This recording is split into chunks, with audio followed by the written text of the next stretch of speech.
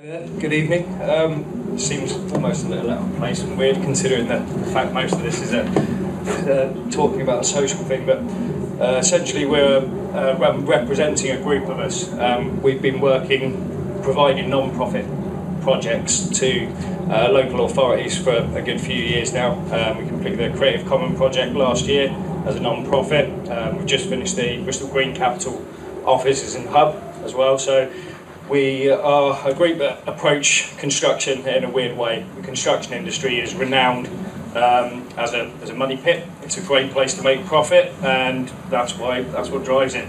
Um, we've come at it from a slightly different angle, um, and to my detriment, and my wife's never-ending support of the fact that uh, essentially we have come up with an idea to build modular housing um, within a small network environment within Bristol.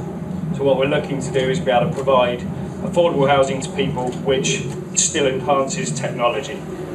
Currently, the housing that we build is not up to standard at all. It's very poor quality and it's very expensive. A lot of this is down to the land that it's put on, but we feel that there's still a massive responsibility by local builders to start building houses. At the moment, very few houses are built by self-builders, and that's what we want to provide. We've developed a system which allows for houses to be built um, around a, a shipping container model. Um, a lot of people say I'm absolutely mental for even thinking about using a shipping container because they look horrible. Um, they do provide a way for us to be able to build. It's a controlled environment build system, and hopefully the what we've developed allows small groups to be able to build. There's currently very little prefabricated manufacture of buildings in the UK, and that's down to massive needs for investments. Factories cost a lot of money.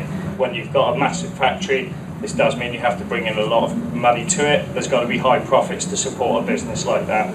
Our model, we hope to prove, enables people to build houses with a group of no more than five people.